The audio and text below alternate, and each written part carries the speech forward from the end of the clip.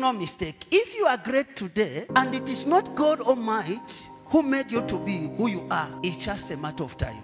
But if you become great today and the great God is in you, that greatness is permanent. Your children will inherit the same greatness. Your grandchildren will inherit the same greatness. Children yet unborn. This is what we are crying for, people of God. We have suffered enough in our families. We have gone through thick and thin, but God Almighty is looking for Abraham in our family who can respond to his call. It doesn't matter what level for your education, the area where you are coming from, who was your father before you become born again.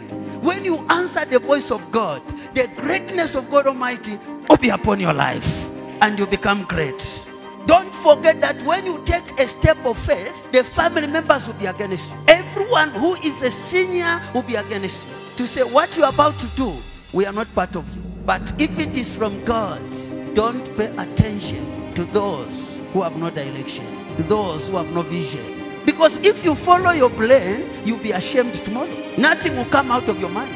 There are people who are more intelligent more than you. There are people who are more educated more than you. There are people who think what they know is more than what you know. But when it comes to the choice of God, no one is greater than that. Only Him. And no one can take it away from you. When it is given to you, whether they like it or not, you will be great.